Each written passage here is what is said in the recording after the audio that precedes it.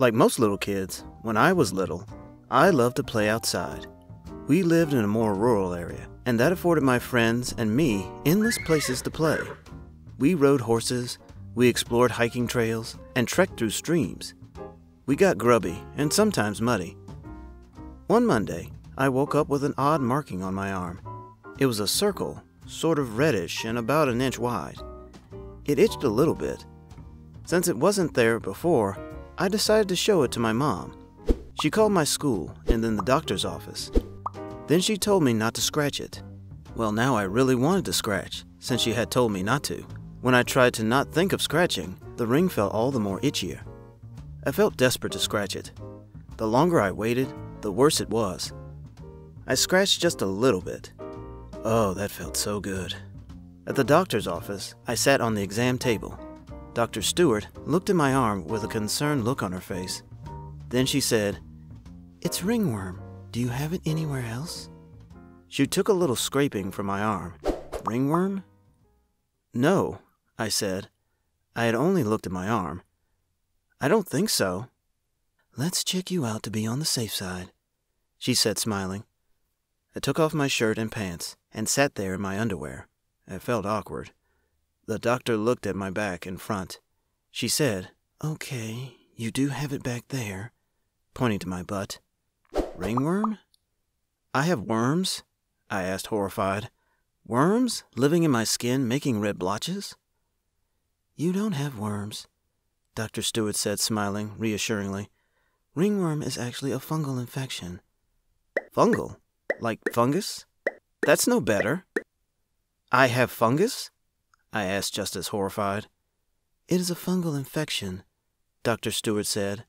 I'm going to prescribe you a topical lotion to apply to the ringworm. You can get it from the drugstore. That will help kill the fungus. In the meantime, you need to stay home from school and avoid touching anyone to avoid spreading it. It is very contagious. Try not to scratch it because it can spread.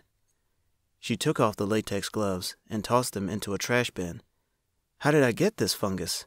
I asked, determined to know where to avoid. You can get it from all different things, Dr. Stewart said.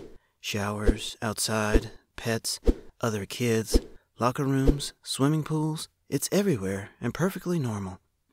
She now sounded like it was no big deal. Very contagious. No, no big deal. A fungus infecting my skin? No, no big deal. And what was this about it being everywhere? How come it never attacked me before this? What was I going to tell my friends? I couldn't see them until my fungus had cleared up. And of course, now that I had again been directed not to scratch it, that was all I wanted to do, especially on my butt. At the drugstore, as my mom looked for the antifungal lotion, I felt an irresistible urge to scratch. I needed to. It was horrible. It was all I could think about. Mom found the antifungus lotion and then decided that she needed some other stuff. I followed her around the store as she searched for the other items. Mom kept remembering other things that she needed and continued her shopping. I was in agony. I just wanted to scratch my arm, not to mention my butt, and go home and put on the cream and get this fungus gone. I looked around to see if other people were buying everything in the pharmacy, like my mom. I noticed that nobody else was around. I could just scratch a little bit. I scratched my arm. It felt good to scratch. Nobody was around. I reached back and scratched my butt. Oh, the relief. Until I saw my friend Alex looking down the aisle at me. What are you doing? Alex asked. Why are you scratching your butt? No!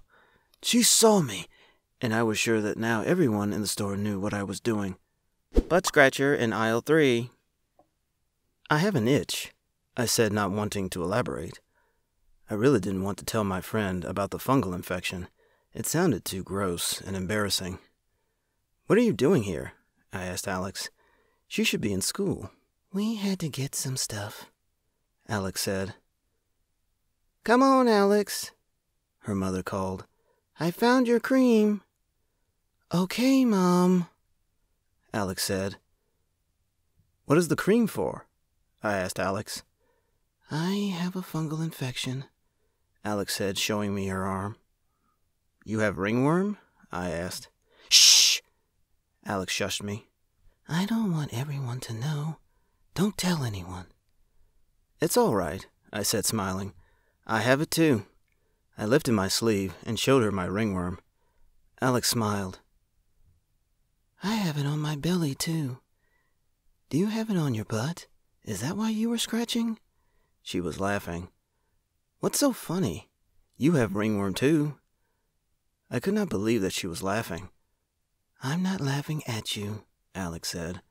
I am laughing because I was so afraid of anyone knowing that I had such a gross sounding problem. I mean, fungus? In my skin? Ew. I feel better now. Maybe we got it from the same place. Yeah, I don't feel so bad either, I said. At least we get to stay home for a couple of days. Yes, that's kinda cool, Alex said. I mean, we're not sick or anything. It was true.